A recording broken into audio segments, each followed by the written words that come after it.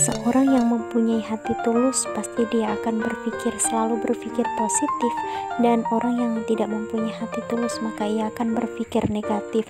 Assalamualaikum warahmatullahi wabarakatuh. Bagaimana teman-teman semua kabarnya?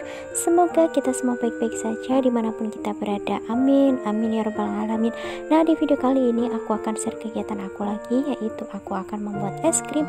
Nah teman-teman semua kalau penasaran ini resepnya yang kemarin ada di video sebelumnya aku ya sebelum ini ya jadi ini resepnya ada di video aku sebelumnya. Kalau teman-teman semua penasaran tonton videonya ya. Jadi ini aku uh, udah bekukan di kulkas atau di dalam freezernya. Kemudian aku keruk-keruk dan aku akan mixer dengan kecepatan tinggi. Dan ini aku mixer di sini ya. Ternyata nanti wadahnya ini kurang dan hasilnya nanti nggak baik juga. Kalau kurang wadahnya kan mengembang uh, tiga kali lipatnya kayak gitu ya. Jadi ini aku mixer-mixer seperti ini sampai benar-benar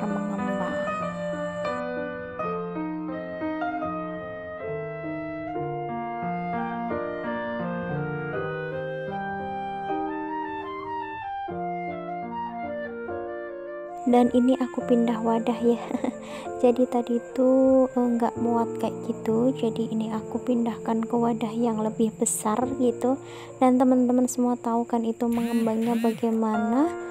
Dan ini alhamdulillah sangat-sangat mengembang ya. Jadi jangan lupa juga dikasih TBM ataupun SP buat mengembangkan dan melembutkan es krimnya jadi buat teman-teman semua di sini ada yang pecinta es krim kah atau ada yang gak suka?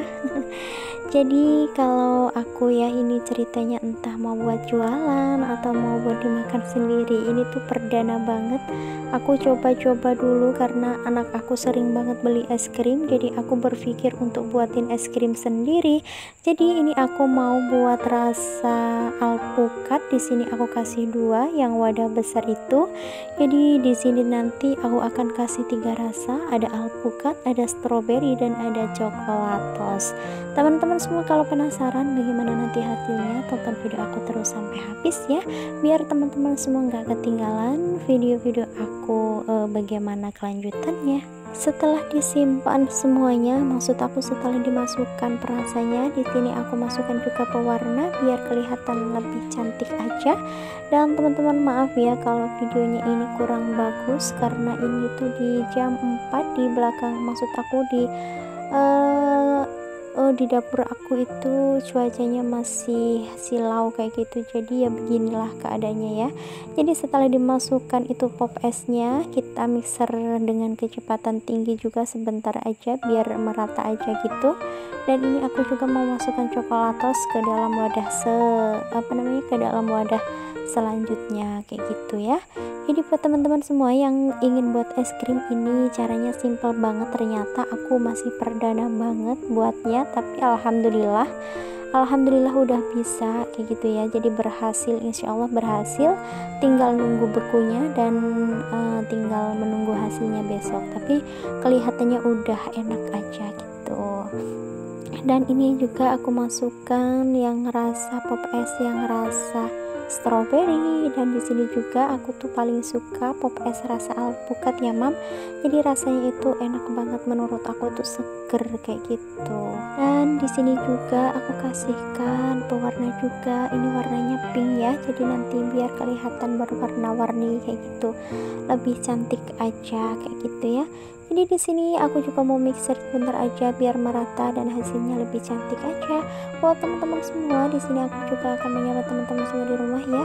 Halo teman-teman semua di rumah, bagaimana kabar kalian? Semoga kalian semua tetap baik-baik saja dan dalam lindungan Allah ya. Amin. Amin ya rabbal alamin buat teman-teman semua yang baru berkunjung di channel aku aku akan mengucapkan selamat datang dan mari berteman. Semoga teman-teman semua suka melihat video sederhana saya ini sehingga teman-teman semua berkenan untuk menekan tombol like subscribe dan jangan lupa juga untuk ditekan tombol loncengnya supaya teman-teman semua gak ketinggalan video-video terbaru dari aku. Terima kasih banyak ya. Setelah semuanya uh, udah siap dicetak ini aku mau cetak dengan sendok aja. Sebenarnya ini tuh enak dipakein sama plastik segitiga itu ya.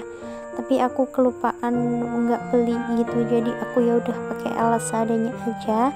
Jadi aku campur jadi satu kayak gini. Yang pertama warna hijau terus coklat kemudian pink. Dan ini tuh uh, jadi banyak banget ya mam. Jadi apa namanya cup itu aku belinya uh, satu pak itu isinya 50.000 ternyata masih kurang dan ya udahlah aku adain ke dalam box aja. Dan ini aku pokoknya cetak-cetak terus sampai habis ya mam. Jadi maaf ya mam kalau suara aku di sini serak-serak. Jadi ini tuh posisinya ada bing aku di malam hari karena aku posisi ngeditnya itu tadi sore dan ternyata belum sempat juga dubbingnya dan dubbing aku di malam harinya. Jadi ya begini kalau di malam hari itu mata udah ngantuk mulut itu ngomongnya ke mana-mana tapi insya Allah tetap fokus ke teman-teman semua ya. Jadi ini aku tetap wadah-wadahin sampai benar-benar selesai ya mam. Jadi Alhamdulillah jadi banyak dan jadi uh, mekar banget. Kalau jadi 100 mungkin ini jadi ya karena wadahnya cuma uh, ada 50 jadi yang sisanya aku taruh di um, apa namanya kontainer gitu. Jadi buat teman-teman semua uh, yang belum pernah coba buat es krim silahkan dicoba resep ini ya. Resepnya ada di video saya sebelumnya. Ini simple banget dan aku juga dapat resep ini dari teman aku gitu yang apa namanya ngasih tahu. Terima kasih uh, udah ngasih tahu resep ini. Terima kasih banyak dan ini alhamdulillah hasilnya ya mam. Jadi ini tuh bener-bener banyak banget hasilnya. Entah ini tuh mau dijual ataupun dimakan sendiri. Pokoknya ini tuh sebenarnya cocok banget buat ide jualan. Dan aku eh, masih perdana banget buatnya. Jadi aku belum berani juga untuk menjualnya. Jadi kalau ini rasanya itu benar-benar enak maka aku akan berani jual. Tapi kalau ini rasanya itu kurang gitu jadi aku akan memperbaiki lagi ya. Jadi ini aku belum bisa ngerasain karena masih menunggu proses bekunya. Tapi kalau dilihat dari adonannya itu rasanya itu nikmat banget ya. Besok-besok aku akan review bagaimana hasilnya ya mam. Jadi ini aku uh, belum tahu juga rasanya bagaimana. Dan ini aku masukkan semuanya ke dalam freezer dan freezer aku itu ukurannya kecil banget jadi seadanya banget ya mam.